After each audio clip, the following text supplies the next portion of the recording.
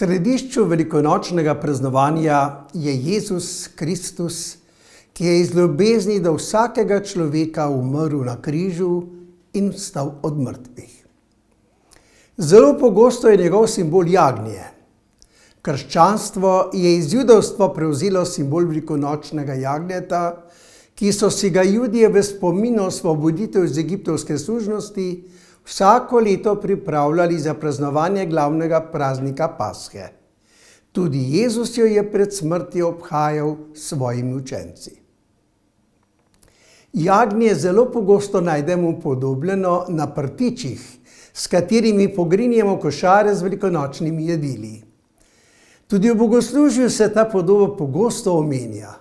Tako pravi več kot tisoč let stara velikonočna pesem Slednica. Žrtvi velikonočni najhvalnice pojo kristijani, jagnje je rešilo ovce. Kristus nedolžni je z očetom spravil grešnike. Hvalnica pove, da nemočno jagnje rešuje močnejše, starejše ovce. Tudi pri vsaki mašni daritvi slišimo besede Janeza Krstnika: Glejte, jagnje Božje, ki odjemlje grehe sveta. Nemočni in umirajoči Kristus je pravo jagnje. Nedolžen je sprejel trpljenje in smrt in tako svojim zgledom ustoličil zakon ljubezni. In ta ljubezen je šipka le na vides, v resnici pa je močnejša kot vsaka druga sila. Močna, kakor smrt je ljubezen, poje visoka pesem. Močnejša od smrti je ljubezen, pravi velikonočno sporočilo.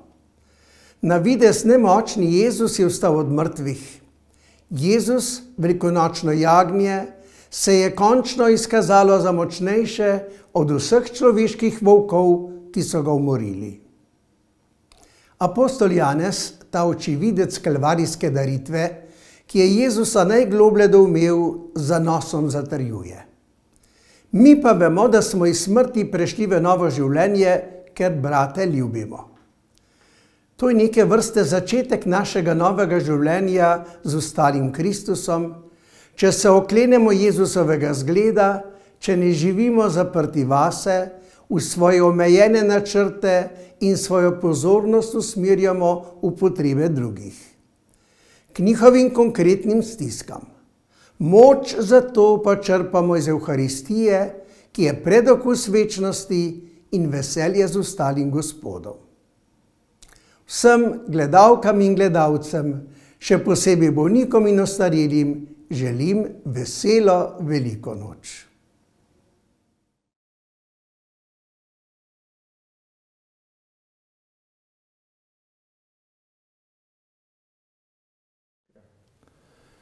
Dragi krščanski bratje in sestre in vsi ljudje dobre volje, velika noč je zmaga življenja nad smrtjo in ljubezni nad sovraštvom. Je najstarejši in največji praznik cerkve, ki razglaša najbolj veselo novico človeške zgodovine, da nas po smrti ne čaka prazen nič, ampak naš ljubeči oče. Kristusovo vstajenje je jamstvo našega vstajenja v novo življenje. Svet od trenutka prve velike noči ni več isti, kajti stari svet smrti je preobražen v novi svet življenja. Grob je prazen in odprt, smrt pa mrtva, kajti smrtjo usmrčeni je usmrtil smrt, zato ne iščimo živega med mrtvimi.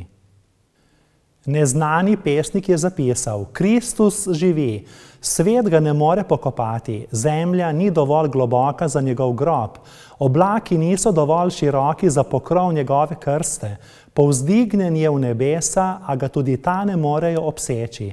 On živi v cerkvi, v kateri gori njegova ljubezen. Živi v resnici evangelija, ki osvobaja in razsvetljuje temo. Živi v srcih nesmrtnih kristijanov. Velika noč je temelj naše vere. Če se ne bi zgodila, ne bi imeli v kaj verovati. Zanimivo, da ob tako velikem zanimanju judovskih in krščanskih mučencev ni prišlo do kulta na grobu Jezusa iz Nazareta. To dokazuje, da so razumno verjeli, da je njegov grob prazen. Bogu ni spodletelo, ne gre za zlorabo, niti za zgodbo o neuspehu. Kajti Jezus Kristus ne živi zato, ker se oznanja, temveč se oznanja zato, ker živi.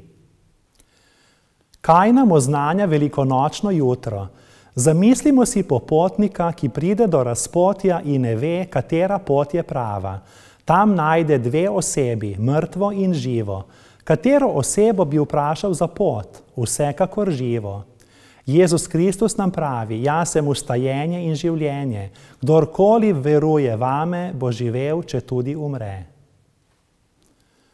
Zato naj se odvali kamen z naših src, ne le z groba, kajti odvaljeni kamen ni zato, da bi lahko Kristus izstopil, ampak zato, da bi lahko mi vstopili in se prepričali, da je smrt mrtva, ni pa mrtev naš Gospod.